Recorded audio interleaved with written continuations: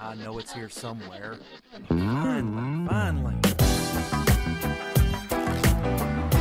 Oh, it's time for the doctor.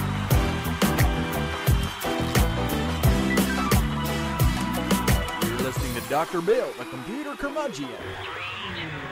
Ah, take it away, Doctor. Well, it's that time again, and the doctor is in. It's time for another Dr. Bill, the Computer Curmudgeon netcast. And I'm glad you could join us this week. We've got some stuff to talk about.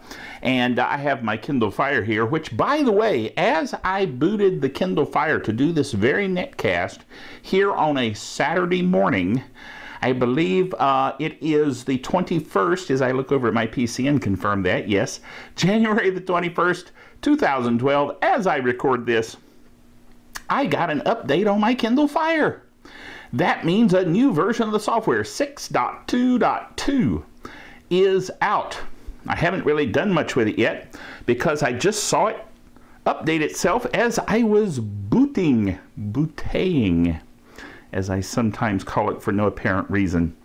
At any rate, let's look at some of the things that we're going to talk about this week, shall we? Before I do that, though, I want to mention we are proud members of the Tech Podcast Network, techpodcast.com. If it's tech, it's right here on Dr. Bill, the computer curmudgeon. Do you like the new uh, kind of logo thing there? Isn't that cute? Always trying to take it up a notch. You know what I'm saying? Yes. All right, let's go into the blog, of course, which is drbill.cc for computer curmudgeon. You could tell me that now as much as I say that. You probably go, yeah, yeah, I know, Dr. Bill, move on. Okay. Yeesh, getting surly this morning.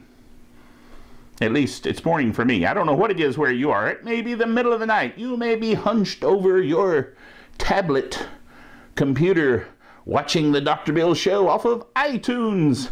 For all I know, with the covers over your head so your mommy won't tell you to go to bed.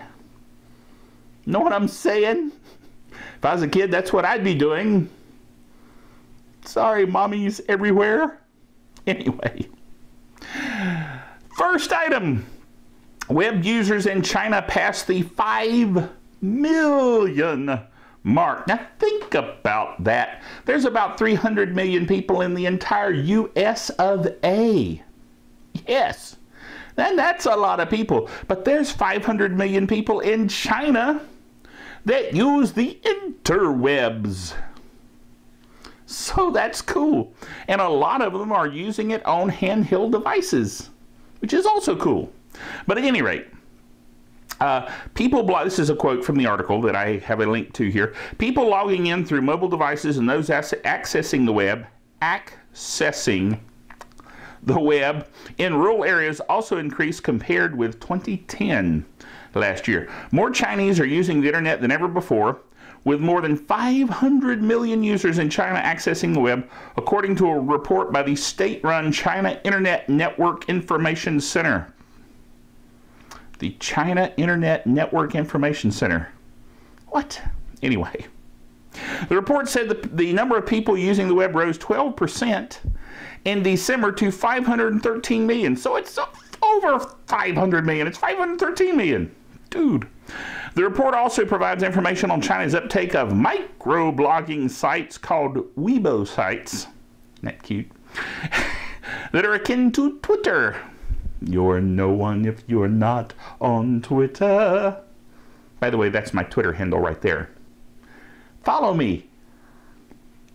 Follow me. That sounds so sad to think of people following me. Not really. I mean, you know, I'm talking more in the in the esoteric cult sense. You know what I'm saying? As opposed to following on Twitter. That's safe. You can do that. Okay. Besides, it might be fun. You might enjoy it.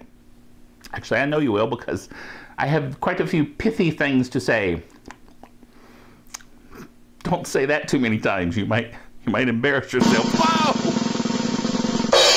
Whoa, that's an early Geek Software of the Week drum roll, but it's a drum roll, so it must be Geek Software of the Week. And the Geek Software of the Week this week is TNT Drive.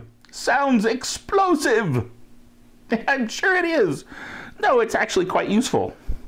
See, here's the thing.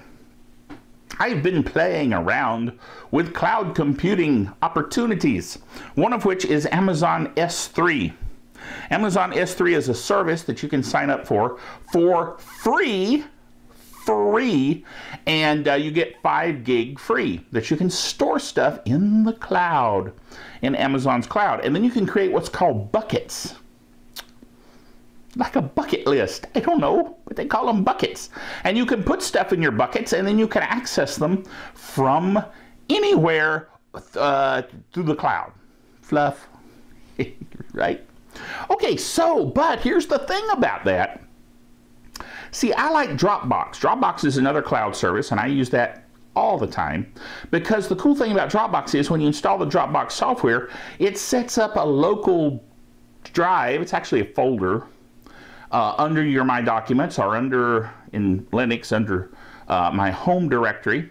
And so I have access to my Dropbox through, now get this, my Android tablets like my Kindle and my G tablet, my phone, which is an Android phone, my Windows PC, which is right here in the studio with me, and through my Linux laptop that I use at work, so it has a client for Linux.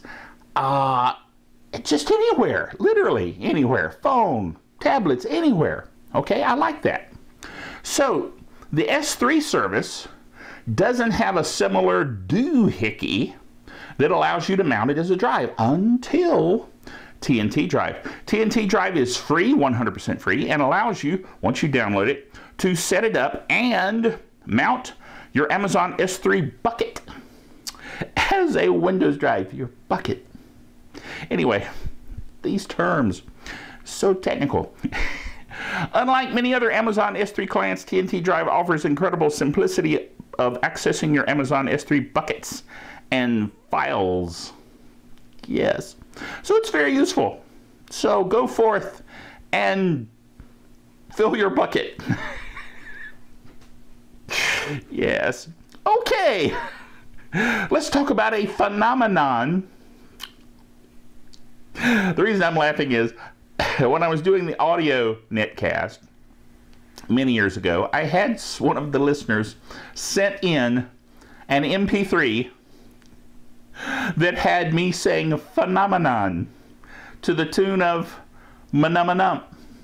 Matter of fact, why don't I just play it right now just for fun? See?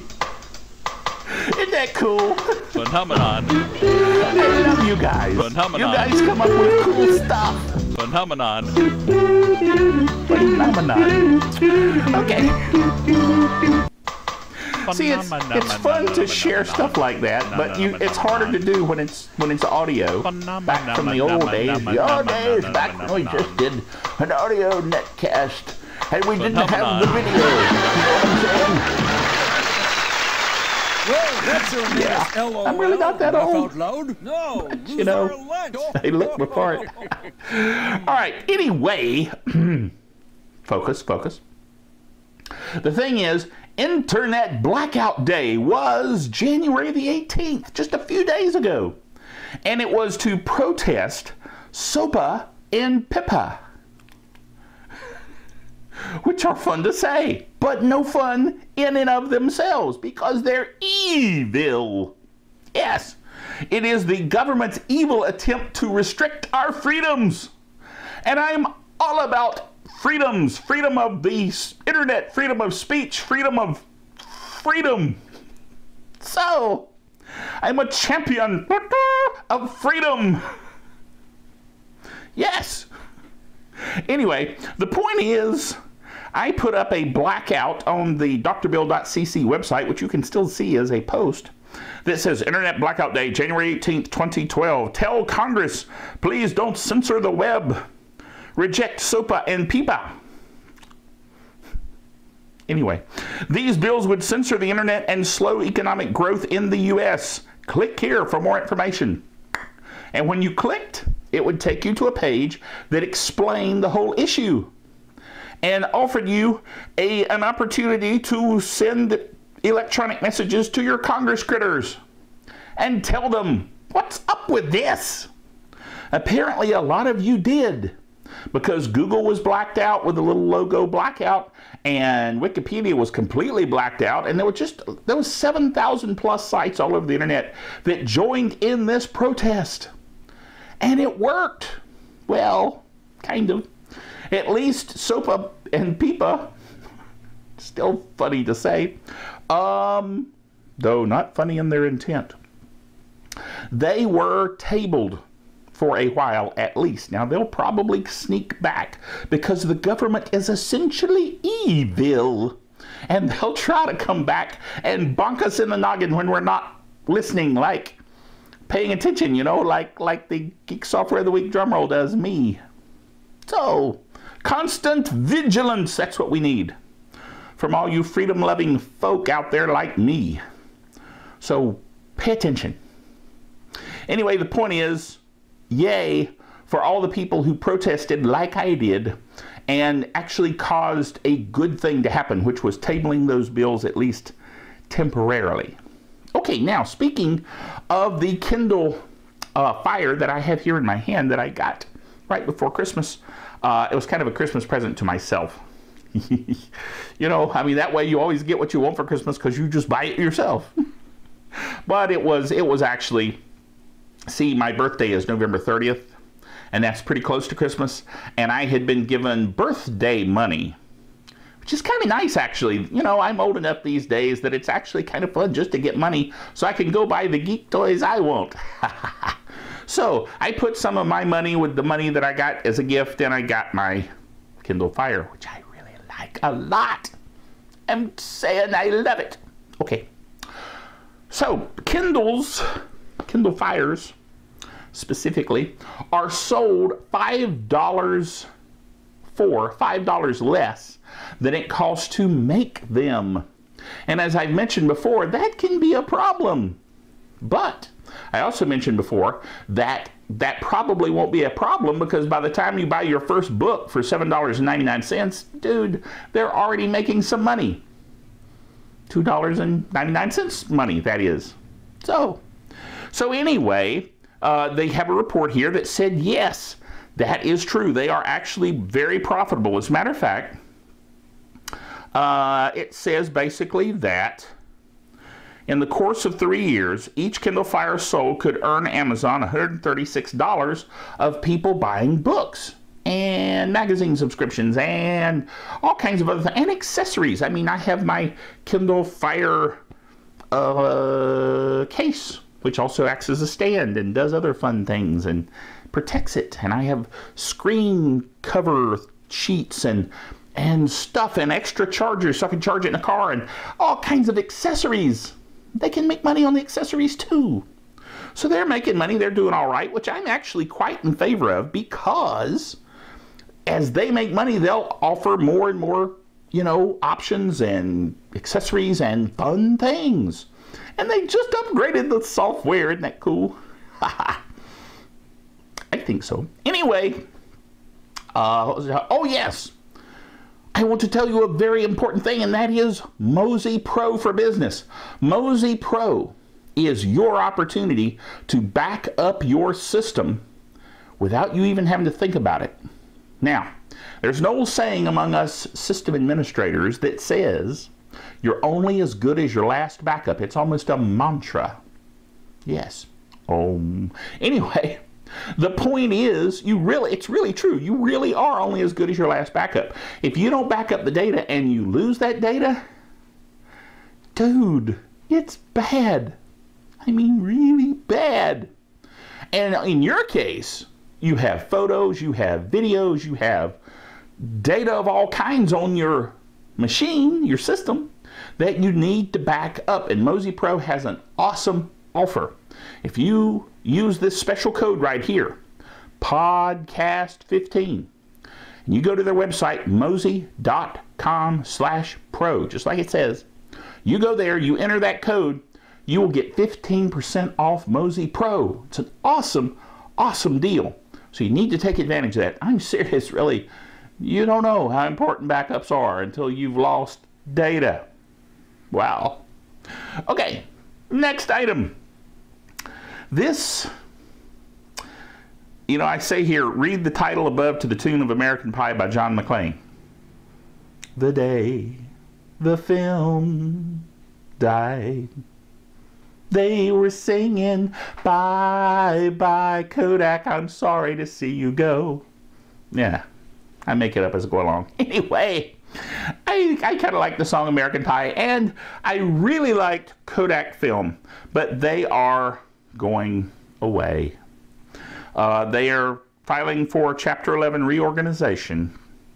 Uh, but here's what I said. I'll just read what I wrote here in the article because I can't say it better than I said it already. Okay.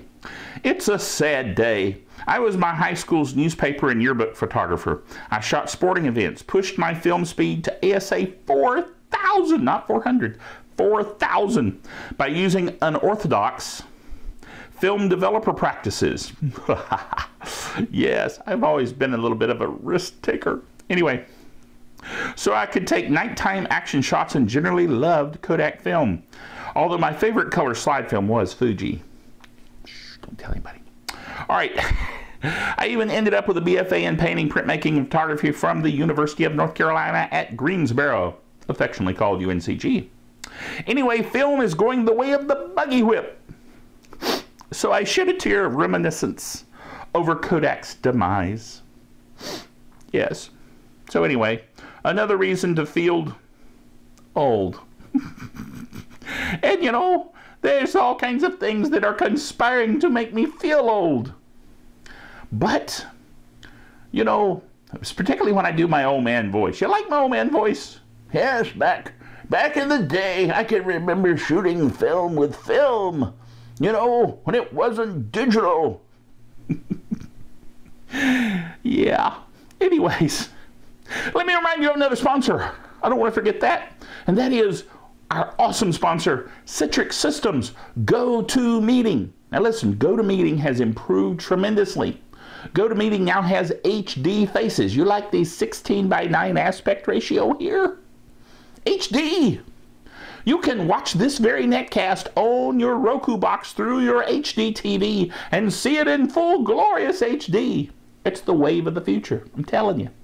But if you will go to gotomeeting.com, okay, gotomeeting.com, you can get a 30 day trial absolutely free, 30 days free of GoToMeeting with HD Faces. It's an awesome way to attend meetings because you don't have to just get in the car and go somewhere or the plane or walk or just do a whole lot of things you don't want to do in the first place. No, you can sit at your own desk, you can click a mouse, and boom, there you are through your HD webcam, talking to other people with HD webcams and sharing data and information and screens. Awesome stuff. And this offer, dude, 30 days free? I mean, you can't get better than that. So go to gotomeeting.com. Go to gotomeeting.com. It will be good, I'm telling you. Okay, whoa! Another Geek Software of the Week? Yes, because last week there was no Geek Software of the Week. As a matter of fact, we called it the No Geek Software of the Week, actually the CES, post CES No Geek Software of the Week edition. I'll get it right. Anyway, the point is that we had no Geek Software of the Week, and I'm sorry. So I included two, two for the price of one this week. Geek Software of the Week this week, uh, or second one I should say, because we already had TNT Drive. This is Flash Boot. Flash Boot. Now, Flash Boot is a little different than a lot of our Geek Software of the Weeks in that it is not free. It is fairly inexpensive for what it does, but it does some amazing things. It allows you to convert uh, a CD, a floppy, uh, you know, all kinds of boot profiles to a USB stick and be able to use the USB stick to boot from. This is particularly handy for me at work because when I, I, need to update the BIOS on servers, I can boot off the USB stick that I've created with Flashboot and then update the BIOS. Once that's done, reboot the system and we're good to go. So this is a real handy tool.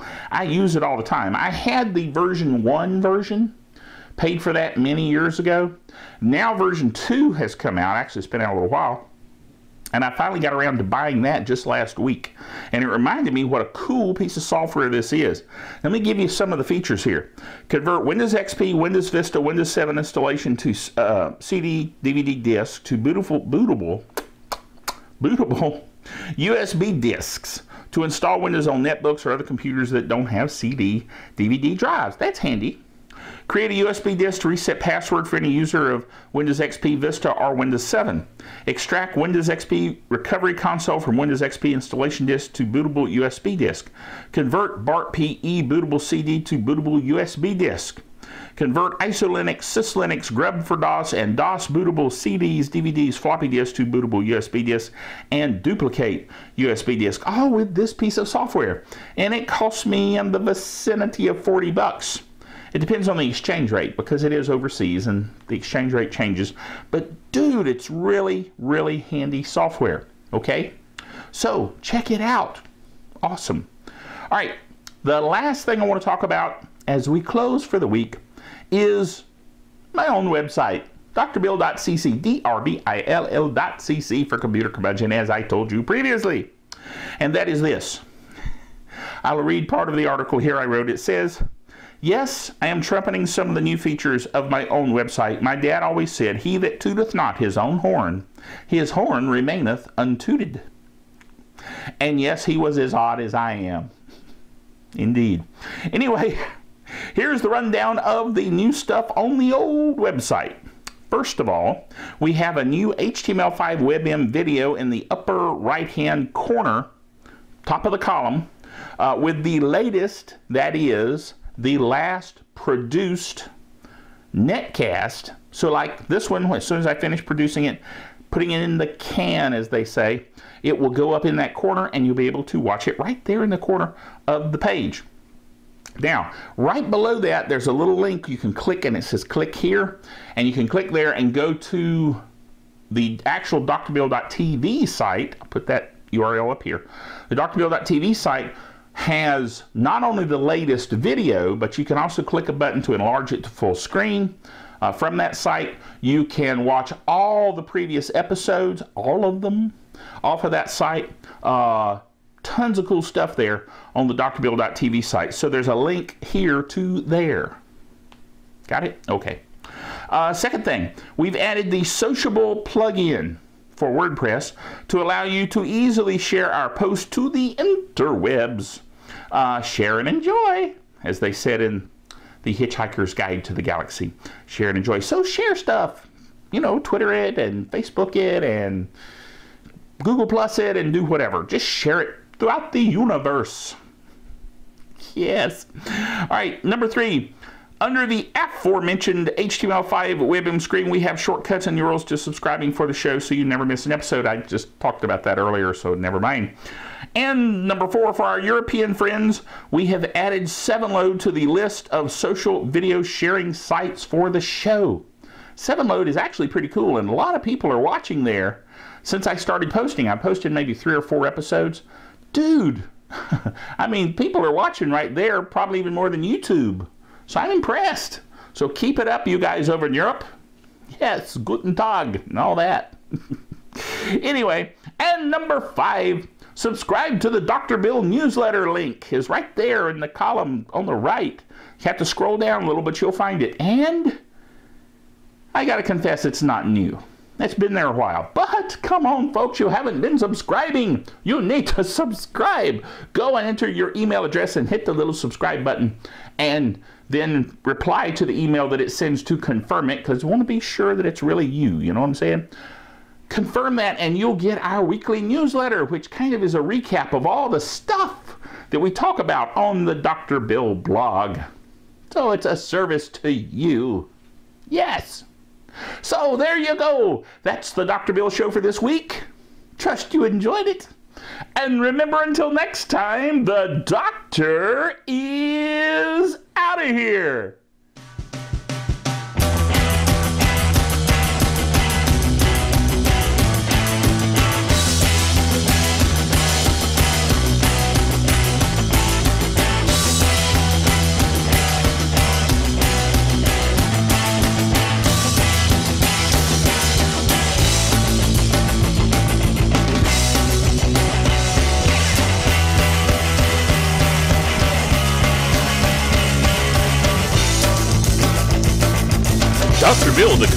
Curmudgeon, is a production of drbillbailey.net with all the honors, rights, and privileges thereunto appertain.